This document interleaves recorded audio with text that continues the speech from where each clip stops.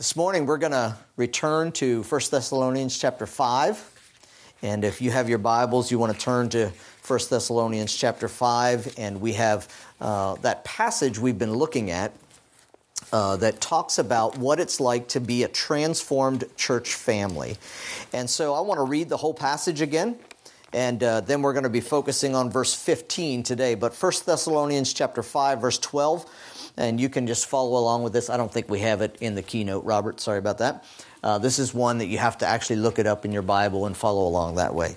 So, 1 Thessalonians chapter 5 verse 12 but we request of you brethren that you appreciate those who diligently labor among you and have charge over you in the Lord and give you instruction and that you esteem them very highly in love because of their work live in peace with one another we urge you, brethren, admonish the unruly, encourage the faint hearted, help the weak, be patient with everyone. See that no one repays another with evil for evil, but always seek after that which is good for one another and for all people.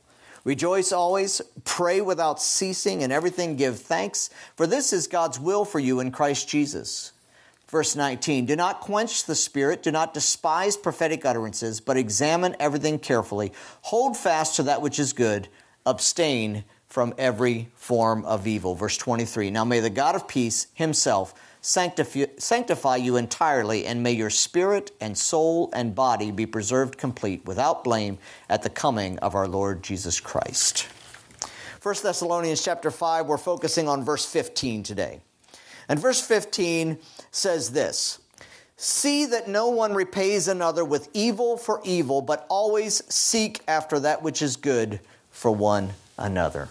No one repays another evil for evil. I think in my own life, and I think as I as I walk with Christians uh, throughout throughout my ministry, throughout my life, this is one of the very very hardest teachings of the Bible. I think it's one of the hardest because it is absolutely counter to our nature. Our nature is one of self preservation and one of watching out for ourselves, and this goes absolutely counter to it. It is a hard teaching. I want to share with you, in regard to this, three passages, three other passages that say the same thing, and we're going to begin with Jesus and his words this morning. So, uh, in Jesus' own words, I want you to to follow along with me as we read out of Matthew chapter 5, verses 44 to 47. This will be up on the screen. You can follow along on the screen. But I say to you, love your enemies and pray for those who persecute you, so that you may be sons of your Father who is in heaven.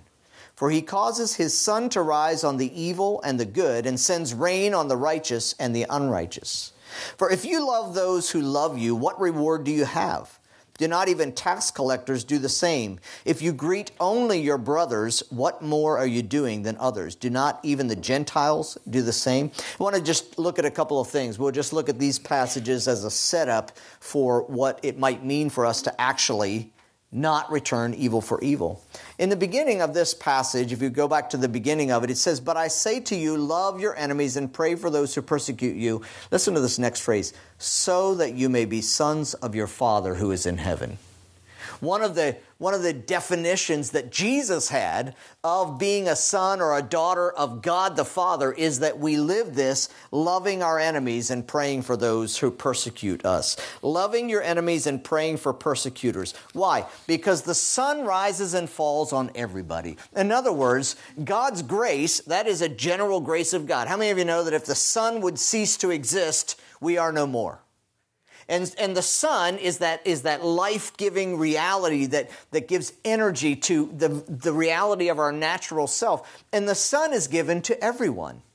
And God is saying, every person you meet, every person you disagree with, every person who mistreats you, every person who persecutes you is a person of value to God enough that He gives them the same level of grace that He's given to you.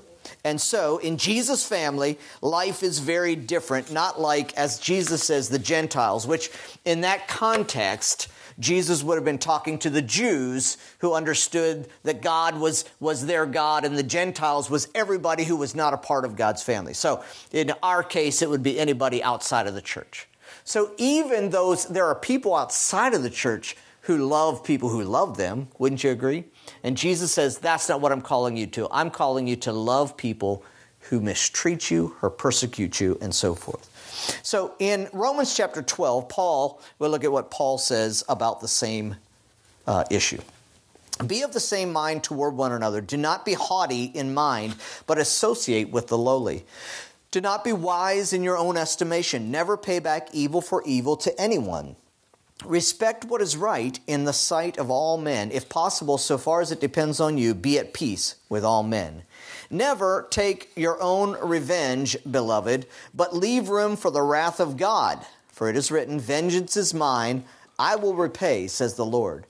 But if your enemy is mine, or if your enemy is hungry, feed him. And if he is thirsty, give him a drink. For in so doing, you will heap burning coals on his head. Now that doesn't sound really good, burning coals on his head. Uh, so that's a whole, that, that's a good thing. Just trust me, and we're not going to go into the heaping burning coals on your enemy's head. I mean, it kind of sounds like, ooh. Uh, so, but here's the thing that Paul says never, everybody say never.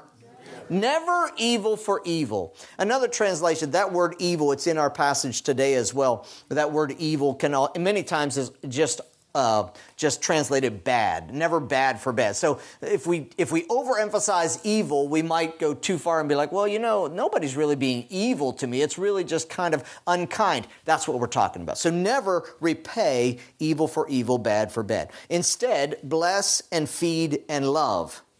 And there's a comfort in this, I guess, uh, that God takes vengeance on and repays whatever God deci- decides needs to be repaid. And how many of you know that if God decides that my enemy needs to be repaid, it's going to be better than anything I could have come up with?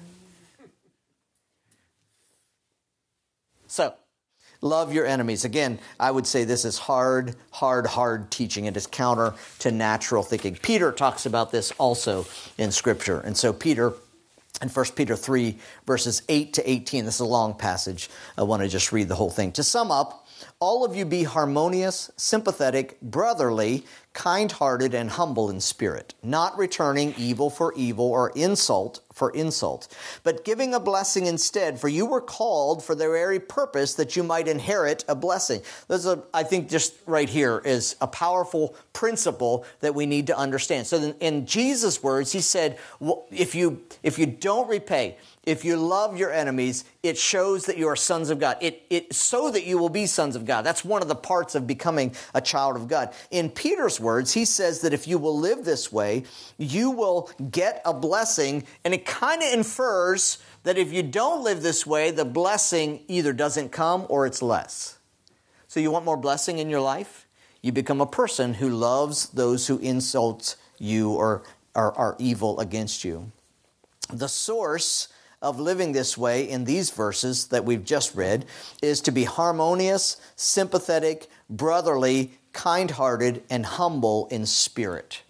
I want to just highlight humble in spirit for a moment this morning. Humble in spirit means that we are, and this we talked about this quite a bit recently, we are able to step back and look at ourselves with, with a fair self assessment. How am I viewing other people? How do I view? And this is, you know, Norm was talking about the cowboy music.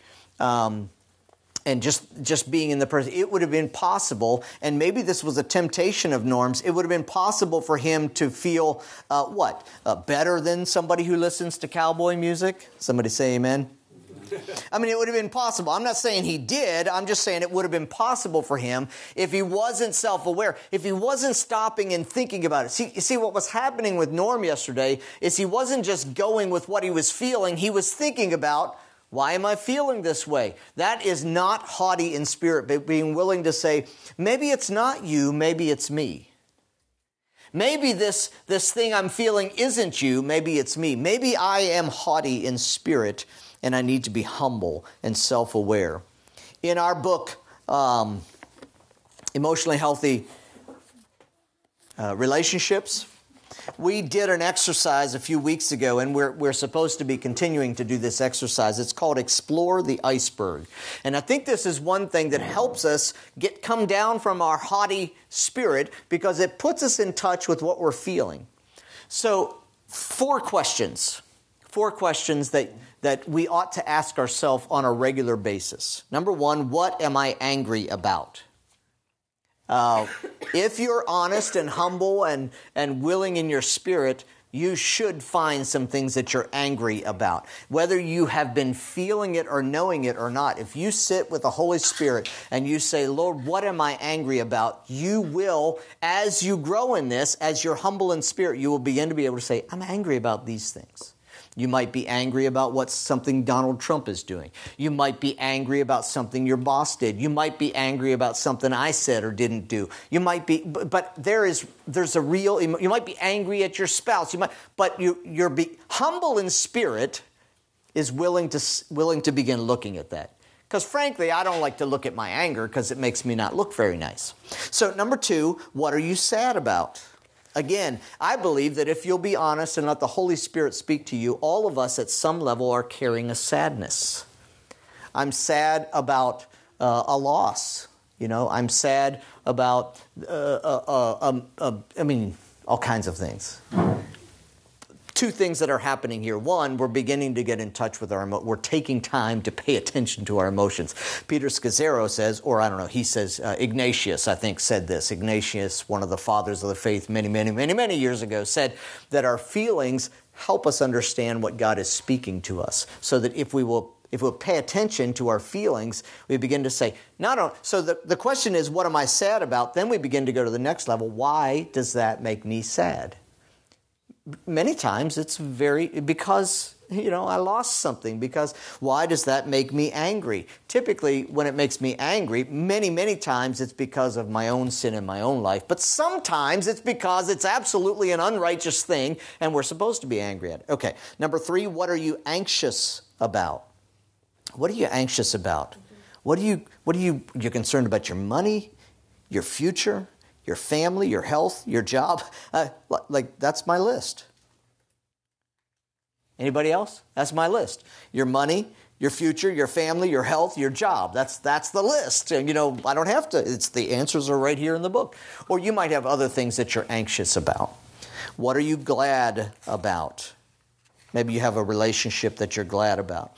The purpose of this iceberg uh, explore, exploration is to become somebody who is not uh, proud of ourselves, but is able to say, you know, I have anxieties, I have anger, I have sadness in my life, and we're able to begin to face that. I believe that is what helps us to be humble in spirit. Amen?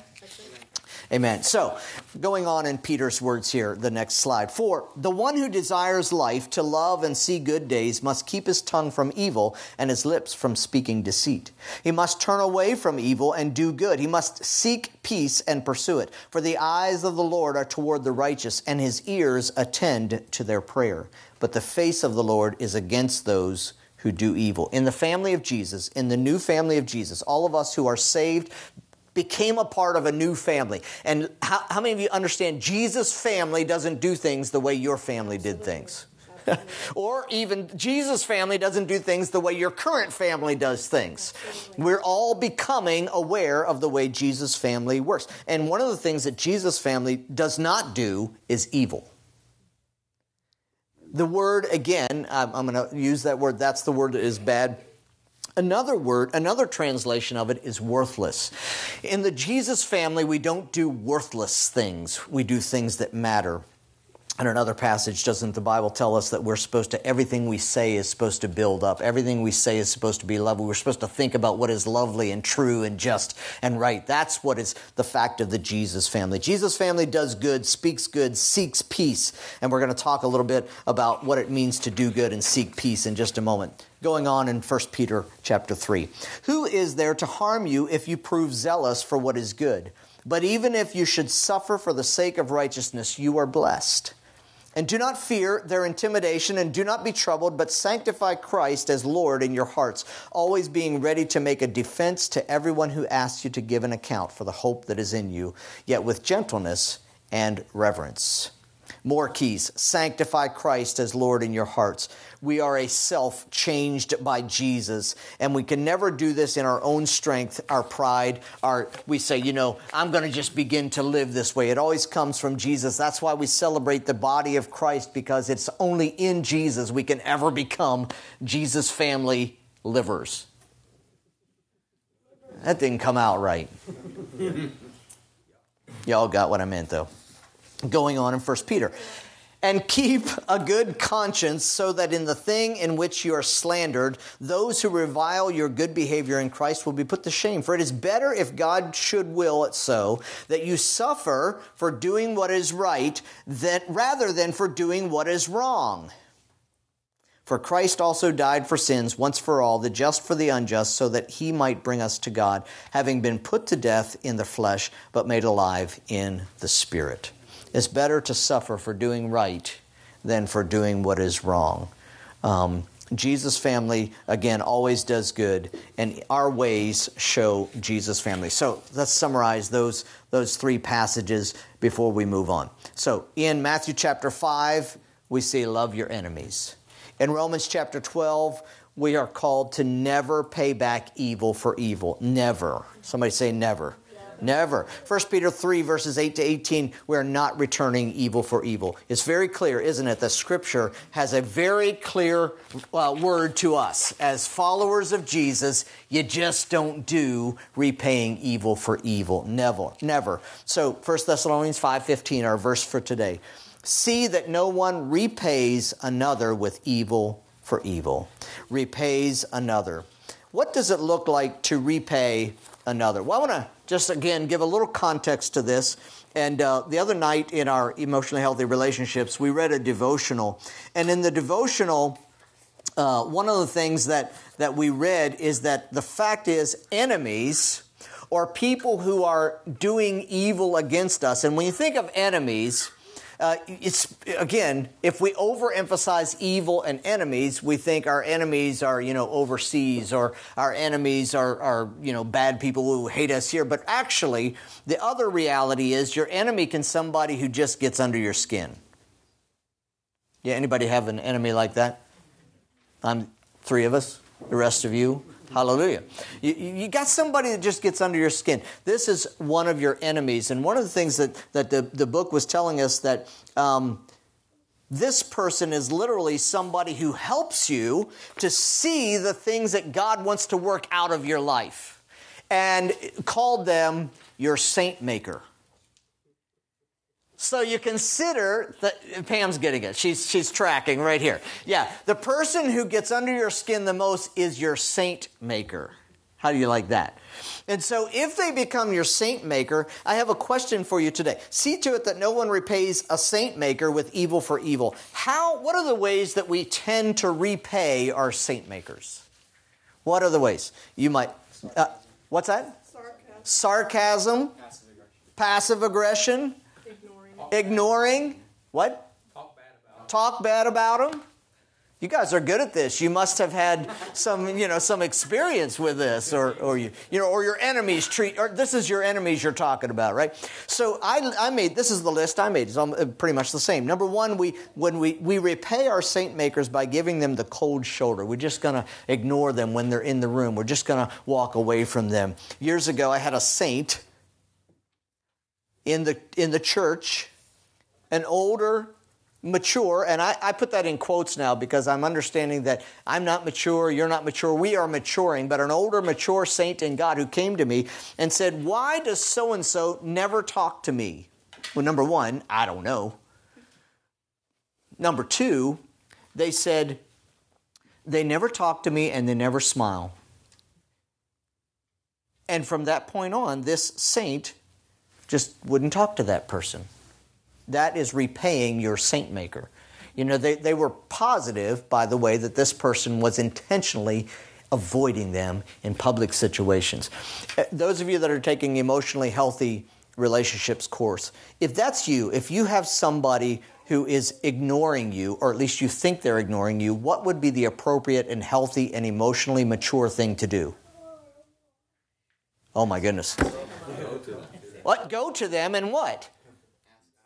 Just ask him what? Now, now, come on, think about your tools. What are you going to do first? You're going to say, I notice that when we are in a public gathering, you're not paying attention to me. What next? I wonder if there is something I have done. I notice, I wonder, I would rather. This is what's emotionally healthy. Instead of just saying, well, you're going to avoid me, guess what I'm going to do? We'll repay our sin. That's, our, that's repaying evil for evil. Actually, in that case, probably it's not even evil for evil, it's evil for perceived evil, which is worse than evil for evil. Huh? All right, number two, we avoid them. What's that? Pettiness for perceived pettiness. We avoid them. Uh, we just avoid. Uh, it's it's similar, but we're just we're just not going to look. We just you know, I, I, and this is something. This is a little bit different. This is something when somebody has specifically done something that has obviously been spoken about you, but but it, you know it's happened. See, the first case is like you're not sure, but you're just assuming. The second case, you know something has happened. You just avoid them. Why? Because you don't want to have to deal with the hard situation. We're going to look at what it means to, to bring good. Number three, we talk about them. We talk bad about them. We tell other people. This is a way of injuring them. We say, you know, uh, and by the way, I have to do a, a repentance right now. I just remembered this. When we were doing our, our book on Wednesday night, there's a prayer at the end of the devotional, and the prayer said, and, I, and we read the prayer. The prayer said, "Lord, fill me with Your love today for my saint maker." And we were supposed to fill in the name, and it was a it was a spur of the moment thing. And the only person who I could see was Norm, and I said, "My saint maker, Norm." And I, I want you all to know, I absolutely did not intend at all that Norm is an enemy of mine. So I apologize, Norm, for saying that. In case you were wondering, you could have come and asked me. I didn't perceive any problem. You didn't perceive a problem. Good. Number four, we make a list and we save it for later.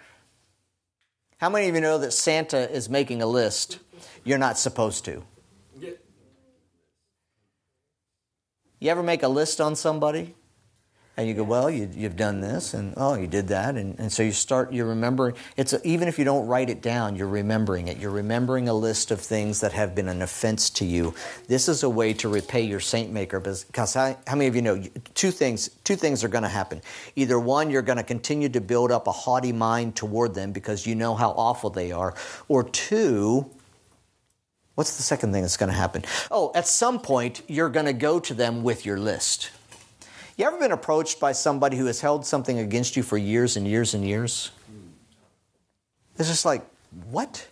I remember years ago, I, I, was a pastor, and, and on staff, there were these other pastors. And one day, a guy called me, one of the pastors called me into his office, and he said, I know that we've had this competition going on for years. And I, I was dumbfounded, literally dumbfounded. I had no idea we were in competition. But in his mind, in his, in his a, picture of what was happening, he was holding this thing for years, literally. He went back to an event that had happened three, four, five years ago and said, You know, you remember when that happened? I'm like, Yeah, I remember when it happened. And it was something that had been done before the whole church. And he said, From that point on, I've just felt the competition between us. And I went, I had I have no idea what you're talking about. But he had held that against me for all of those years a list. We keep a list of our saint makers. We keep a list of what they've done. And if we're if we keep that list and we don't deal with the list, at some point we'll take a whole list to the people. And how many of you know it's a lot harder to overcome a list of offenses than it is, you know, last week. last week, I just want you to know, we were, I, I need to check this out. Are you following me? So, uh, one of the reasons that we, we do, are not able to live in the Jesus family is because we're, we're actually good at repaying our saint maker. So again, our verse today, 1 Thessalonians 5.15. See that no one repays another with evil for evil, but always seek after that which is good for one another and for all people. Would you read that last two lines with me? This is what we're supposed to seek after. Read that together. That which is good for one another and for all people. So this is a key in 1 Thessalonians 5:15 talking about the Jesus family, talking about a, a transformed family. The question is to define what is good right. for one another and for all people. That's what I want to look, look, look at today. Because if we're not careful, we take this principle of don't repay evil for evil. We say, you know, pray for your enemies and those who persecute you. And we become people, if we're not careful, we become people who become quiet about things that have been done against us. And we think that the good thing to do is just not say anything about it and just forgive and just move on. I want to tell you today that sometimes you may have to do that, but in more opportunities than not, you need to go to the person and deal with the issue because that is what good for the other person, uh, what's good for the other person and for you. And it's good for all people. Here's what I have found about dealing with people over all these years, and here's what I find about myself. If I am habitually offending you, if I am habitually causing problems in your life, how many of you know that I'm probably doing it to other people as well? Is that does that make sense? How many of you know a person who in their interactions with other people is a hurtful person? Raise your hand if you know somebody like that. If you know somebody like that, are they hurtful to one person or to many? Many. What is good for all people? That somebody sit down with a hurtful person and have an honest conversation with them and say, This is what I've noticed in my life. And if you're able to say, This is what I've noticed in other people's life, and I am concerned about how you're relating to other people, and I believe God has a better plan for you. See, that's different than just avoiding and being quiet and being loving people who just pray for other people. That's not what God calls us to do in the family of Jesus. God calls us in the family of Jesus to confront. And when I say confront, I'm going to put some context to it, to confront and to go to the people that are that are having the issue and to help for their sake, for my sake and for all people. This is what I'm looking at. The church is meant to be brotherly, and there is an active seeking of good for all people when we are brotherly. So, more than likely, again, if you've experienced it, other people have experienced. So, as an example, I want to look at Jesus. So, Jesus, how many of you agree? Jesus is the most loving person that ever walked the face of the earth. He's the most loving person ever. And how many of you know that there were times in Jesus' life that he was, that in some people's estimation, he didn't look very loving? Right? So when Jesus looked at the Pharisees and said, All you are is empty tombs with rotting flesh and bones inside. Does that feel loving? What a loving thing to say. Why in the world would Jesus say something like that? He's the most loving person on earth. He must have made a mistake. No, it, that can't be it. What don't we understand about love and about honesty and about truth? Jesus confronted the Pharisees with the flaws that were he knew what were in their life. Not only that, here's just an, an aside, he did it publicly. Ouch. Number two, money changers. This is the one that most people always point to. Jesus comes into the setting, and these men are selling and buying and, and, and they're controlling the whole process and they're making money in the process in the, in the place of worship. And Jesus, in his most loving way, right, takes out a whip, begins to whip over, snap, snap. I mean, come on. It's a, it's a very active and violent scene. He's throwing the tables over. Say, man, Jesus lost it. He must have made a mistake. No, he never made any mistakes. How many of you know that Jesus is the most loving person in the, that ever walked the face of the earth? Sometimes it displayed what looked like and was anger. Okay? This was good for all people. How many of you agree that getting rid of that false, uh, that false front to worship was good for all people? And so Jesus is not just being nice and saying, you know, I would appreciate if you all would move from this place, although that voice is kind of how we view, you know, we tend to view Jesus. He's so quiet and loving. We don't know if Jesus was quiet. We don't, he may have, how many of you have ever thought, of, I've never thought of this, what if he had a big booming voice? Anybody ever imagine Jesus with a big booming voice? Of course not, because he's so nice. right? And so we imagine his voice so nice. Number three, disciples. Did you know that uh, when Jesus came down from his time of prayer with, uh, I guess who? Peter, Peter, James, and John. No, they were in the sailboat. Anyhow, um, Peter was there at least because because uh, he wanted to build a tabernacle. And he comes down, and what, what had been happening? When he comes down, his disciples had been trying to cast out a demon. Do you remember that? And they, they did everything, and they, they could not cast this demon out. And Jesus comes down, he casts out the demon. You know what he says next? He says, How long am I going to have to deal with you and your faithless generation? Can you imagine? He just how many of you understand that Jesus is looking at his disciples and he's like, What is wrong with you? Amen? Like, well, when are you going to get this? I feel that. but it wasn't real, you know, he wasn't like, okay, guys, let's get together and, and let's talk. With his big booming voice, he said, I don't have a big booming voice, so I can't do it. How long? There, I just I can just amplify it. And his family. Here's Jesus being loving to his family. His mother and his brothers come to see him, and they're outside waiting for him. And they're like, You know, we, we just came to see Jesus. And Jesus is like, I ain't going out there to talk to them. They're not my family. What? What? You're going to call up your family today. Now, your family, most of you, your family are believers, so you can't do this. But if your family are unbelievers, this was Jesus. His, his mother and his, his uh, brothers hadn't put faith in him. Well, we don't know about his mother. That's a Anyhow. But his point is here's my, here are my mother and my brothers. Would you agree that that, is, that doesn't feel loving to mom and my brothers?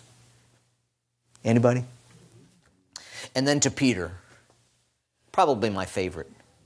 Hey, Jim, would you, are you able to stand and come here? Yeah. All right. I, I'd appreciate if you would be Peter for this morning. With your big booming voice. Yeah, with his big booming voice? Peter's big I'm not a fisherman, but I'm a farmer. A farmer, it'll work. It'll work. They're the same, basically. Yeah. Um, so here's Peter. Here's Peter, and Jesus just says, They're going to kill me. And Peter says, no, they're not. No, and Jesus says, Get behind me, Satan. Pretty hard. Go ahead. Thank you. Yeah, I want you to know it's not like it was some theoretical thing. He's looking at Peter, one of the main friends of his, and he says, Satan, get behind me. That doesn't feel loving. I mean, you can imagine Peter, he's like, What? Did you just call me the devil? This is Jesus' example for us to follow of doing good for what is good for everybody, for one another and for all people. And that's what I want to end with this morning. How are we going to live out this passage as Jesus' family members? And what I thought was really cool is this week in our emotionally healthy relationships, we learned how to fight cleanly. Fight the clean fight. That you know, we we, uh, uh, Paul said we're supposed to fight the good fight. So today I want to I want to talk about fighting the clean fight. And it's important this is the terminology being used by Pete and Geri Scazzero, and that, that's fine. I'm not, I'm not trying to make this into a fight per se, and they're not either. They're really, they're really talking about confront the issue in a clean way. Can I just say it that way? We need to become strong enough in our faith to be able and willing to confront the issue, but there's a way to do it. And this is what we need to learn. I am probably, well, definitely more than other preachers and pastors. I am very much into how are we going to do that? How are we going to do that? You know, we, we can live up here and say, the Bible says, and Bible says, but how are we going to do this, Johnny? You know, t- this week, when we're supposed to not repay evil for evil, when we're supposed to do good for that, what's good for every one another and for all people, how are we going to do this? This is the how. So, so I want to just go through this list with you. So you can you can write this down if you have a note a uh, notepad or whatever. Uh, but number one, the first thing that we must do. So um, I need another example person. Um, everybody. Oh, that is amazing. Everybody immediately looked away, except for Marilyn, who looked right at me. Come on up, Marilyn. Would you be my example person? Marilyn has been habitually late for church. And I am getting very frustrated with it. But I don't tell Marilyn, I just am thinking about it. And so the first thing that I do is I step back. I, never, I don't go to Marilyn first thing. She comes in late for the fifth time in a row. Marilyn's never late for church, by the way. She comes in late for the fifth time. One time. Once is enough. She comes in late for the fifth time in a row. We're in the middle of the third song. I see her coming in. She doesn't even seem to care about the worship. She comes in. I don't immediately after church go to her and say, Marilyn, why in the name of Zeus? I don't know. No, not why. uh, Why? You know, and I just go. That is not the way to do a clean confrontation, right? What is the first thing that I need to do if I am irritated about her coming in late every week? What's the first thing I need to do? Somebody help me out. Do what? Think about the emotion. For me, before I even go to her, I go, you know what? I am I'm irritated, I'm angry. Why? Why does that make me angry?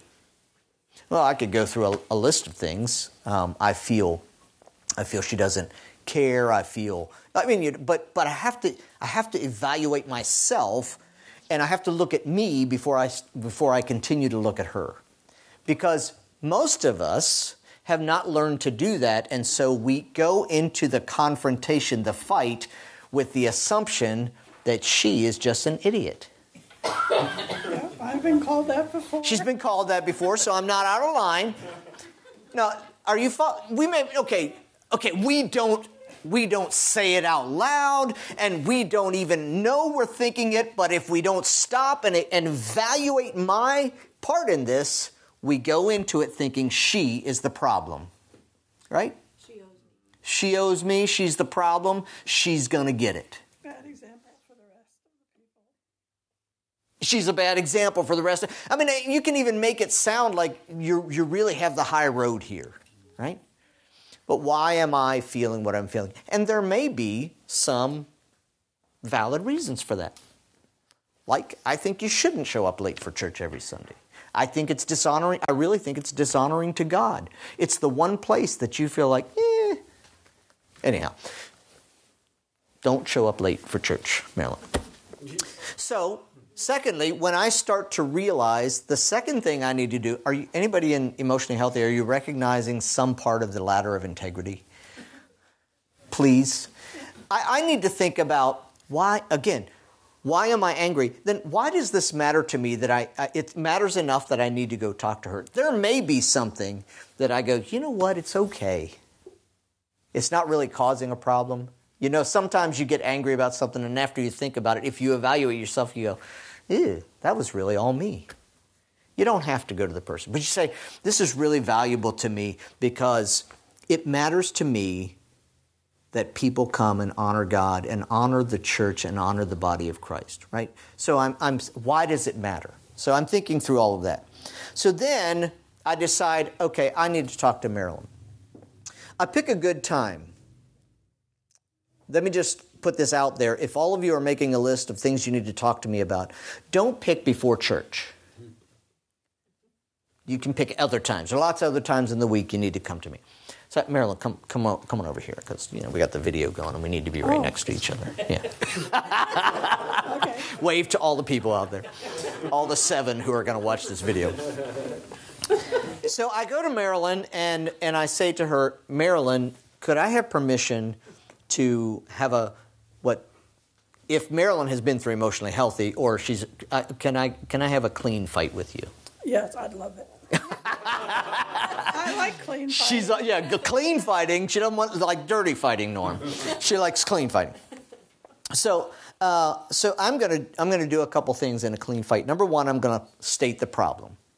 I said, Marilyn, I notice that almost always, at least the last five weeks. I'm sorry, I've been counting, but at least the last several weeks, you have come to church late. And if Marilyn is versed in this, at some point she's going to make sure she heard what I'm saying. Uh, we're not going to do all that right now because it gets monotonous. But I'm going to I'm going to secondly, I'm going to state the problem, then I'm going to state why it's important to me. Okay? So I've done, you can't do this if you haven't self-reflected.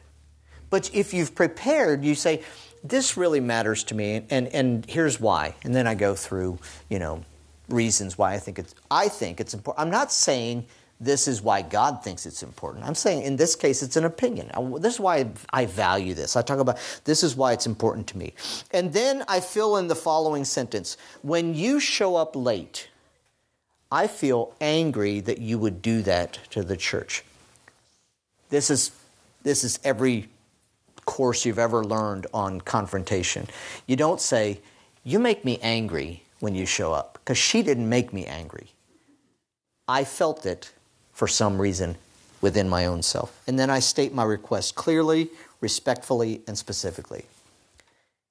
I'm asking you today if you would consider changing your Sunday morning routine so that you can arrive at church not just at 10:30 even but 10:15 be a part of greeting the people. And then I state that and then I say you know give her an opportunity to repeat back what she's heard.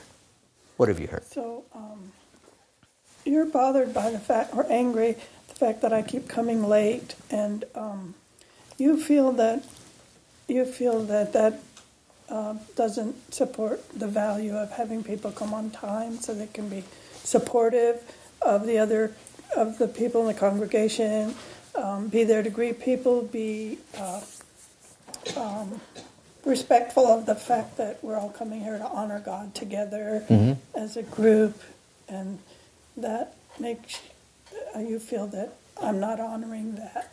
Yeah. So that's upsetting to you. yes so would you be willing to consider changing your pattern? Is that something you can do? And would you be willing to make an effort to change that? Yes, I would be willing to make make a bigger effort to get here on time and greet people, and because, well, the main reason is because everybody else thinks that the rest of the church is the church and not them, hmm. but we all need to be the church to everybody else too, because they're looking for that in each of us. yes so you can really see the value Yeah. in me correcting you I'm just I do. I do. I see it. you see it. Now, if you're doing this, listen. How many of you? Oh, this is a. Thank you, Marilyn. Would you? She did excellently. You're good at this. Thank you, I like clean fire. She likes clean fights. Uh, sometimes this is really dangerous, but sometimes, many times, too often times, your spouse is your saint maker. Huh? That's a good opportunity to say amen. Everybody that, you know, all together. Okay, we don't know who said it. We just we just understand. Sometimes, uh, you know, and as you're working, especially in closer relationships, as you're working through this, so we're doing something. If you are able to get clarity with a person, and if you are able to help transform, be a part of Jesus' transformation process in somebody's life, so that they are living out Jesus' values, you have helped not just yourself. See, this isn't about me. It's about me, it's about the other person. Because if I'm confronting because I believe something needs to change. Now, sometimes in that conflict, sometimes in that clean fight, Marilyn may say, you know what, I have to stop in and see my mother every Sunday morning.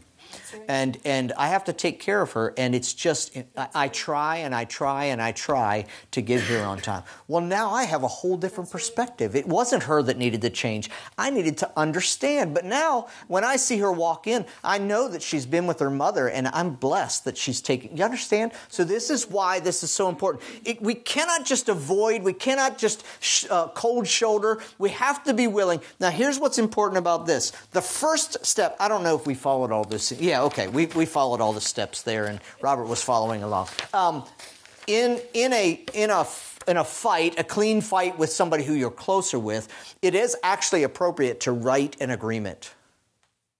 here's what's going to happen now now i think the example that we had in our class was a daughter an adult daughter an adult daughter talking to her mother about how she was being treated. And so they wrote an agreement said this is what we're going to do. We're going to come back in four weeks. We're going to see how we're doing. It's really building relationship that is open and honest and honoring. And and this is this is what i believe we're talking about uh, in 1 thessalonians chapter 5 so again Here's our verse for today. See to it that no one repays another with evil for evil, but always, somebody say always. Always, always seek after that which is good for one another and for all people. Can I just finish with this? Seeking, always seeking after that which is good for one another. It starts with me. Absolutely. It starts with me. I have to seek after what's good for me. And this is where the self evaluation, the, the willingness to say, I'm kind of petty. Actually, it's kind of not a big deal. What does that mean? I don't have to go to the person. We don't always have to run to everybody who does a little offense every time of every moment, or we will not have time for anything else, right? So, so it's not like we have to always confront another person. First, there's, there's a season of self reflection. Secondly, good for one another. I'm not approaching them so I can get this off my chest. I believe that if I am going to my daughter to talk about a situation, I'm going with the hope that this is going to be better for both of us. And then the third part is for all people. When we know of somebody, um, and and I have had opportunities. Um, I, I, have okay. I, going back to the ways we treat that, oh, we treat this.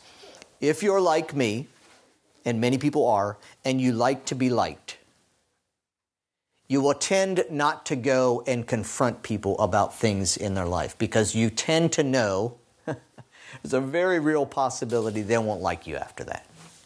Right? And and so so Jim and I had this, you know, in our years of pastoring and eldering here, and there there there have been people who have wounded others habitually. And we have avoided, we've talked about, you know, what should we do? And and after years we have there's one in particular that we sat with, and we and we we we didn't have our clean fighting thing, but we did sit down and we prayed over it. And we, we said, how can we share this in a loving way? And we shared it in a loving way. And the person essentially said, I'm out of here. You see, not everybody you go talk to is, uh, the point of that is not everybody you go talk to is going to receive it and be changed. But if they will, everybody experiences the blessing of it. Now, here's the final thing only in Jesus can you do this. You're not going to walk out of here with your little tool and you're going to be like, okay. Now, it'll make a difference. I believe that if people would implement something like fighting cleanly and iceberg and all of that stuff, those things in and of themselves can make a difference, but none of it will make a eternal difference unless it comes from the full love of Jesus that we have within us. So you can't do this without Jesus. It starts with Jesus. It, it, it, it goes through with Jesus. It ends with Jesus. So only when we have grown emotionally are we able to approach this in a confident way. So take this home in this way, if you don't mind. I'd appreciate if you'd take it home. In the area of living fully in Jesus, we need to become a people who, in the fullness of the love of Jesus, are able to face our fear. And that is facing the fear that they'll reject me, facing the fear that I'll do this wrong. You have to, be, you have to take some steps. So, living abundantly in Jesus means we're able to look at another person and say, you know what? God has called me in brotherly love to be someone who is, is able to connect, or, or able to have this confrontation kind of a style. Uh, secondly, connecting authentically is very simple. We're going to be people who become those who approach the issue rather than avoid it. Again, that takes prayer, that takes time. You, you step back, you, you process the thing. You, you're aware of your own self before you approach. And thirdly, to engage, here's what I believe if we were to become a body of believers, small as we are, if we were to become a body of believers who began to live authentically in this way with one another, starting at home with our spouse, with our children, in our workplace, if we were to become that kind of people, they, the people out there that we meet with, would begin to hear the stories, would begin to see the fruit, and it is, it is of itself a drawing factor to Jesus. The Bible says, Jesus said, or First John tells us that it is how we love one another. That's what people will see. And so engaging the community happens when we begin to live out the, the, this hard thing right here. Before you go out and start going to you know the most hostile place in the world, the enemies that are out there, and start trying to do this there, this week, try it with your spouse. Try it with your kids. Try it with your brother, your sister. Try it with the people who are closest to you. And begin to live out a pattern of healthy relationship. That makes us a welcoming place. We become a safe place. We become a place of truth. We become a place of authenticity. And Jesus becomes higher and higher, and people begin to know this is a different group of people. Right. Amen? Would you stand for a moment?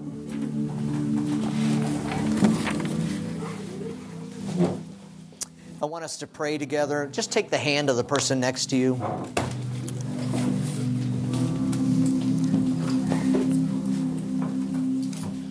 And just by way of, of dedication and commitment, I want to um, ask God to anoint us. Even as we took hands today, we're, we're holding hands with the people next to us, we're connected. God, this is the body. This is the family you've given us to and you've given to us. We are here to be life givers. And we are here to receive life from the people next to us in Jesus. And so, Jesus, I'm asking you to anoint us, that there would be a flow of your anointing that would take us to a new level of relationship that allows us to do what is good for one another and for all people. And Lord, whatever that means, Lord, this week, some of us might need to say, you know what, I really need to address this issue. You might need to call somebody and say, Would you pray? I'm getting ready to do a, a clean fight. Help it to be, well, I pray that it would stay clean. Pray that I'd, I'd do it in a, in a way that is honoring to the other person and to Jesus. But this connecting us to, together today, Lord, is a symbol of how you want to do in the real life relationships. Lord, maybe it's somebody else. Maybe it's somebody not here today. Maybe it's somebody who used to be here. Maybe it's somebody who, uh, who is in my workplace. Maybe whatever. Help us to become authentic in the way we confront evil or bad or wrong or something that is harmful to us. In Jesus' name, your anointing be upon us. Change us and transform us for your kingdom to come and your will to be done. Jesus, we want you to be seen. Jesus, be seen in our families. Jesus, be seen in our marriages. Jesus, be seen in our sibling relationships. Jesus, be seen in our, in our church relationships so that you're glorified. We pray in Jesus' name. Amen.